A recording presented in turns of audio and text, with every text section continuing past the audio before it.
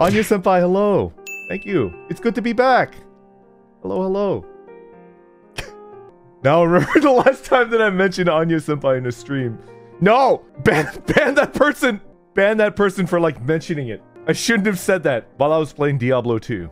Oh my god. I do legitimately love Anya Senpai's like new outfit. Well, it's it's been out for a while. She revealed it a while back, but like probably like my favorite like outfit I've seen from Holopro. I just like it. Good taste. Uh, shut up, everybody. Don't embarrass me. I I feel like I feel like you guys love to embarrass me in front of senpai. Like you just have to you have to like I I need you in my corner, right? I need you in my corner. Don't embarrass me in front of a senpai. Why does everybody love to do that? Even the boys like to do that. Even the boys.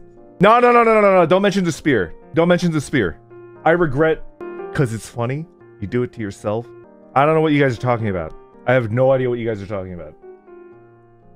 I'm Vesper Noir, the resident scholar of the Adventures Guild Tempus and a member of Holostars English, and I am a 1 on the unhinged scale. Is Magni Dezmond at 4, Regis Altare at 3, Syrios Axel at 2, and I'm a 1. I am the most hinged and grounded member of the Adventures Guild Tempus.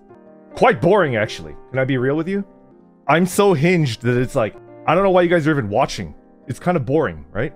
It's just like, we already know exactly what he's going to say before he says it because he's like a perfectly hinged door. You know exactly where that door is going to go. You know exactly the parameters of where that door can go and it, it is usually closed. Oh no.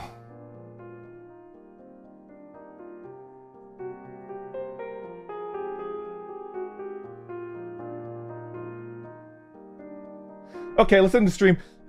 Bye, Senpai. Thank you for coming. Thank you for welcoming me back. I appreciate it. All right, guys, later. Goodbye. All right, goodbye. Bye.